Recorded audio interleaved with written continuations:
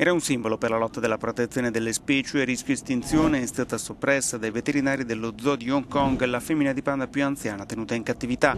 Gia Gia aveva festeggiato i 38 anni lo scorso mese di luglio. Secondo il WWF sono ad oggi meno di 2000 gli esemplari di panda esistenti in libertà.